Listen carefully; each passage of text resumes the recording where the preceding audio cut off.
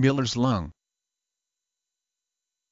Miller's lung, a type of hypersensitivity pneumonitis in people who are hypersensitive to the granary weevil the wheat weevil or Sitophilus granarius. Hypersensitivity pneumonitis is a type of inflammation of the lung that develops from breathing in a foreign substance. People who work with grains or flours contaminated with this weevil are at especially high risk for this disease. Hence, the name Miller's lung. Symptoms typically have an acute onset and include fever, cough, chills, and shortness of breath within hours of re-exposure to the weevil. Given no further contact with the weevil, the person's symptoms typically improve over a day or two, but weeks may be need for full recovery. In the subacute form of Miller's lung, a cough and shortness of breath develop over days or weeks and may be so severe as to require hospitalization. With chronic Miller's lung from contact with the weevil over months to years, there may be scarring fibrosis of the lung with increasing shortness of breath and a cough productive of sputum, progressing over months or years to respiratory failure.